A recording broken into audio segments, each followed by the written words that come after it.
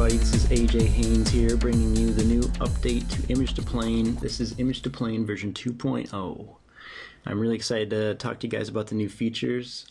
I'm not going to waste any time, so let's just get right into it. I'm going to go up here and click on the icon, and right away you're going to notice that the interface looks quite a bit different than 1.0.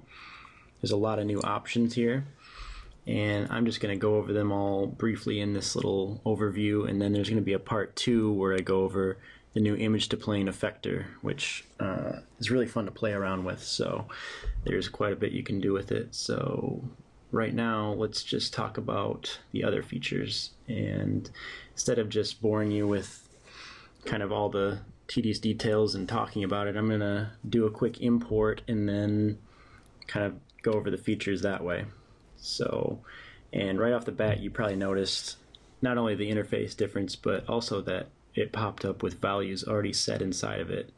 And that's because one of the new options is to save as default. So, which was actually a user requested feature. So now you can set all your values the way you like them. I typically use the same values every time too, so that's a nice feature to use. So you don't have to re-enter them every time you open the plugin. And of course, if you don't like them, you can just reset everything back to zero. Um, the one that stays checked is the no grid option. That and what that does is by default last time everything came in with the default 20 by 20 segments and the no grid option just puts it to a one by one which is all you need to make a plane so and makes things a lot more efficient and it really really increases viewport performance when you're loading say 500 images. You just don't need all those segments so. But there are a few you know advantages to unchecking that which I, I'll probably show in the next video so. Um, let's get rid of that there. So let's just do a quick import. Max plane height I'm going to set to 500 and I'll explain that when everything comes in. Let's line it up with a gap of 20 and one of the new features here, max files, which grabs the certain number of files from a folder. So the folder I'm grabbing from is about 300 images, so I just want to grab 25 images from that folder, and I'm going to randomize the images it grabs. By default, if that's unchecked, it'll grab the 25 first images in the folder. So I want that on, and I'm not going to click set dimensions, that's a new option, but um, I just want to show the varying widths and heights of the images. If this is on, you can set the plane dimensions of all the images that come in, um, which you know might be useful if all the images are the same aspect ratio. Say they're LHD aspect ratios. Maybe some are 96540, some are 1280, some are 1080, and they're all kind of mix and match. You can set them all to the same plane height. I want I don't want materials only. If that's checked, basically it'll ignore all the other options but these next three buttons. And it'll also take into account the image filter. But I do want my material, I do want the planes. I don't want materials only. I do want to disable the specular. I don't want to add it to the alpha channel. If the images do have alpha channels, it will add it right to the alpha material. I do want to add it to the luminance channel of the plane of the uh, materials. And we have the new uh, option to parent under the cloner or the null now. So that's a great option that you don't have to drag everything into a cloner. So, but I am going to import it right into a null this time just to show you. And we'll leave no grid on. I'm going to leave that unchecked. I'll talk about that more later. And now we have an option to name the parent that all the planes come in under. You have the option to name it the folder name, which was always the default in 1.0, but now you have the option to set it, set the username or set the parent name yourself, which, you know, obviously you could uh, rename the parent to anything you want, but there's a few new options, which I'll show you when I import here, that might make this username useful. So right now we'll just leave it the folder name and I'm not going to go over image filter in depth. We did that a little bit more on the 1.0 video but basically it just allows you to filter the images that come in based on their file extension. Like if you just wanted JPEGs, you could type in JPEG there, and it would bring in only the JPEGs if you hit only. So let's leave that. Um, all right, so everything else is good here. So let's select the folder, random files, just a folder of 300 images roughly, but we're only going to bring in 25. So you'll see it working down here, loading the images. And there they are. Let's bring that down. Kind of hide that. Just some random inspiration images.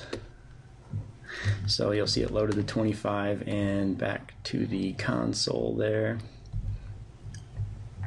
I've loaded a few times, but um, you can see it tells you exactly how long it took and how many files were loaded.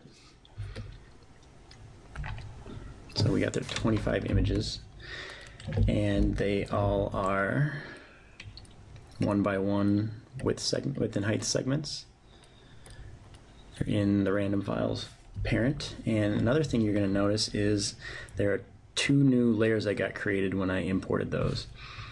And this is one of my favorite new features because if I'm importing tons of planes, say like 500 images, your material editor gets just cluttered up with all kinds of materials. So now that everything comes in, the materials are tagged separately of the planes, so you can hide them separately if you want to. Um, you can just uncheck that layer and they all go away. Say I create a couple new materials and that's kind of jumbled in with all the other stuff. Just hit either no layer for all the new stuff you create or you know you can hit all and then just uncheck that layer as well. So you don't have to look at all those materials. And the same can be done for the planes. I mean obviously you could you know uh, fold the parent, but if you didn't want them in there, you could just uncheck the material manager and hide everything. And they all came in with their gap of 20, which is great. Everything was working perfectly. Oh, and the max height. So um, the larger images got scaled down to a maximum height of 500, which a lot of them were obviously pretty big then because they're all lining up, and the smaller guys just stay the same size that they were. So perfect. So real quick, I'm just gonna show you guys just a real basic overview, real basic look at the image to plane effector. It's just a Python effector that can be applied to any cloner, and we'll show you what it does here. So um, lineup basically doesn't apply when you're going to use the cloner, so set that to zero. Uh, we'll up the plane height a little bit to 600. We'll set the max files a little higher. Let's go 75, keep them random. Everything else looks good. Cloner, no grid. Let's just set a username as well.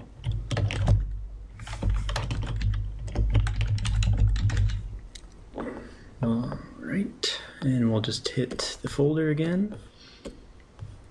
We'll see it loading down there.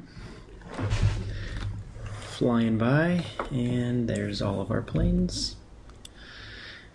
Right away, you'll see only three planes, and you'll wonder why you don't see them all. That's because the cloner's default count is set to three. So as you increase the count, you'll see more of your images. So if we want all of our images, we'll just have to set this to 75. And if you go over 75, it just starts back from, from 1. Starts back to the first plane. So, and you'll see that they're all lined up, and that's exactly what the image to plane effector does, is it tries to keep the distance between all the planes um, butted up right against each other. And if you do want a gap, all you gotta do is come into the object tab and go to the X amount and increase that, and you'll get an even gap between all the images which is awesome. No more having to deal with the lineup and say you didn't like the gap. You know, you had to delete all the planes and re-import, but now you can interactively set that.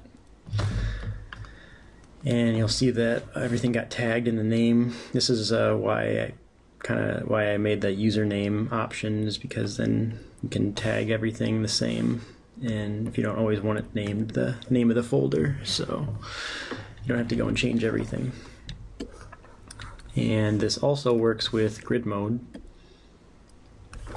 So it looks kind of jumbled by default. There's some values already set so let's set it to zero and let's just increase the height. Width and you'll see that each row is lined up right next to the image next to it. So can increase the gap here as well and then just increase the, the count and you're gonna get a lot of images. So um, that is the basic overview of image to plane effector. I'm going to go into more detail in the next video. I hope you guys like all the new features in image to plane 2.0. I'm really, really psyched about them. A lot of the features are huge time savers over the first one. Offers you a lot more flexibility to get images into cinema really quickly. I hope you guys enjoy, and we'll see you in the next video. Thanks, guys.